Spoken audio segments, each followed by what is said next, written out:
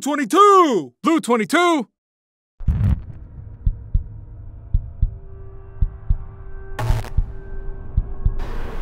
Bobby Ford, man, he go back actually to the beginning. This is a man that when nobody would take my phone calls when I was new in the music business. And I met Bobby through a gentleman named Cedric Martin from Con Funk Shun. Bobby Ford Studio, and uh, you know that was my first time to be in a recording studio. He worked with me, and all I had was a turntable at the time. Yeah, yeah. Look at my friend, man. I love this dude, man. Yes, that man. It's. It's for real. You don't see that every day.